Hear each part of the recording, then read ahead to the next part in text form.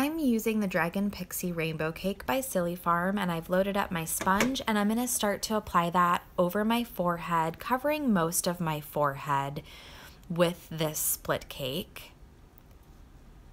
And when you do this, you just want to pat back and forth. You can always manipulate your sponge to go over certain areas to get better coverage, as I am doing here. And now I'm pinching the sponge together and I'm going underneath my eye on both sides. And then I'm just going to connect the purple on the outside to create more of a mask.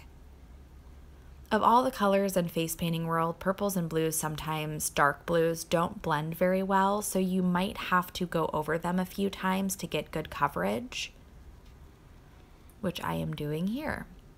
Now I'm taking a filbert or chisel brush, which is one of my favorite brushes in the world, and I'm to show you why.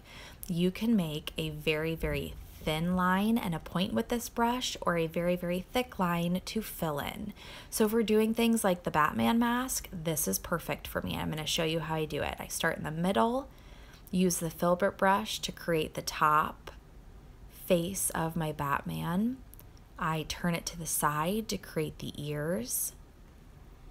And then I pull my loops up and around to a nice tip on both sides.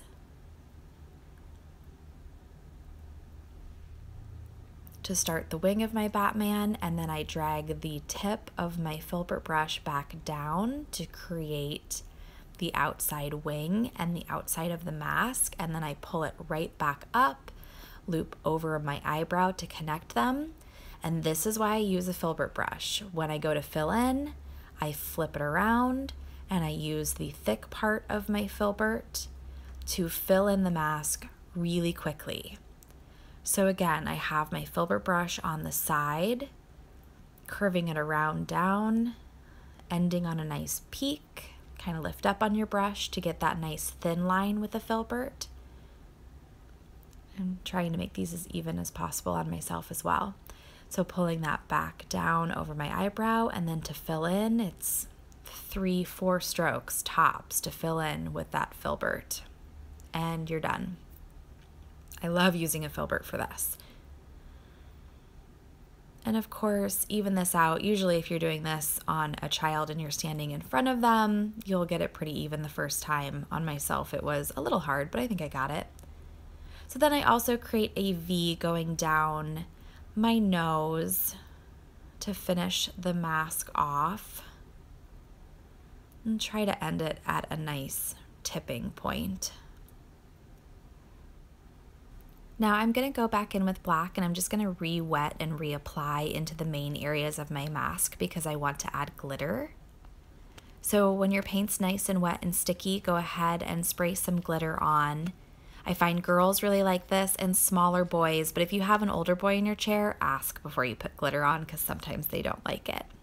And now I'm taking this stencil. It is number 1206 and I'm going to add some dots on the bottom of my mask, going over that color on the bottom just to create that comic book look. And this is a great stencil for all your, you know, Spider-Man and Batman masks. It just adds a lot of quick detail. And then on the top, I'm just going to, with black, do a moon and some stars and starbursts and dots just to create a night sky. And I'm going to add a few white highlights as well. If you decide to add white highlights, I would use a liner brush or something quite small so that the highlights don't overwhelm the mask.